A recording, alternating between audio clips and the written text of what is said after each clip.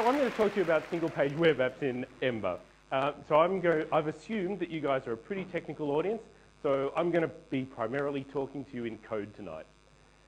So here we go. I'm assuming you guys know what a single-page web app is, something like a Gmail or a Google Docs or an iWork.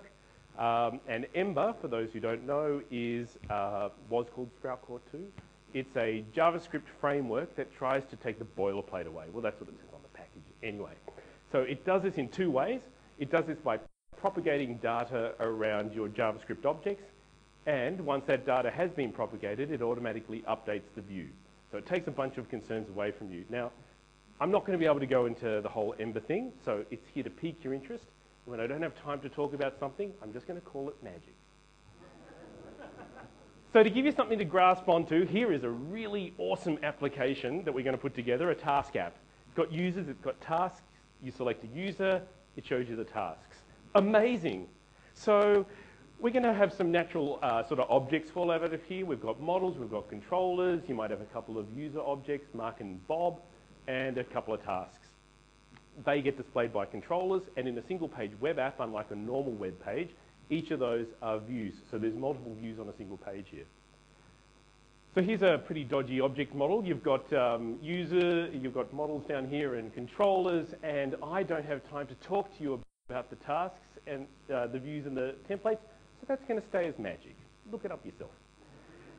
So let's create an object. Let's create a user object. It's a pretty simple declaration. We've got a user has a name and some tasks, and we can instantiate those objects and get some values out of it.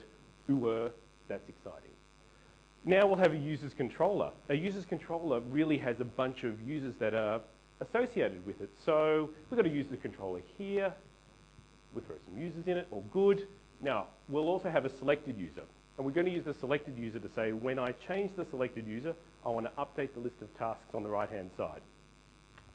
So again, a little bit of magic that pops up down the bottom here is from the user's controller, we can actually navigate into another object, the selected user object, and pick out its name. So we can traverse a graph of objects by using a string, which is extraordinarily powerful.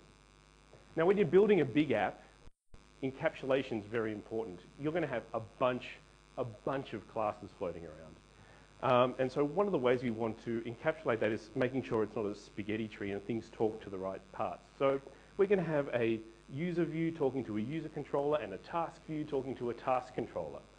But we've got a bit of a problem here. We've got a user's controller who knows what the current user is, but it's the tasks controller that has to update what gets displayed.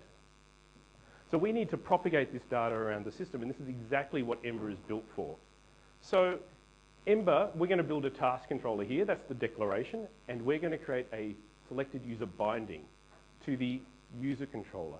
And what that does is says when a user's controller's selected user gets updated, that data is going to magically appear in our tasks controller.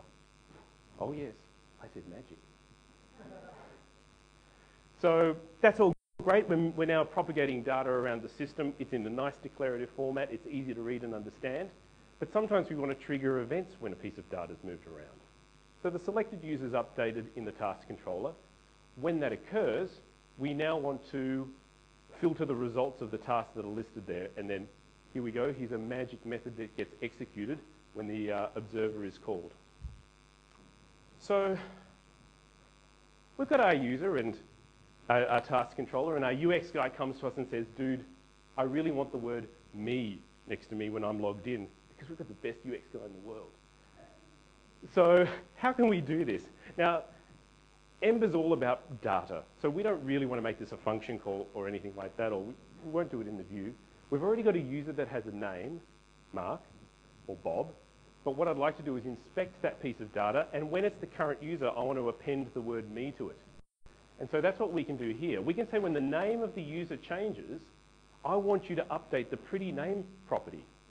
And it does that by doing this, this function.